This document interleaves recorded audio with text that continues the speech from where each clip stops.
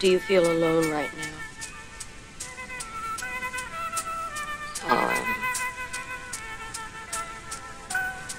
I mean, I'd like to believe I'm not, but I just.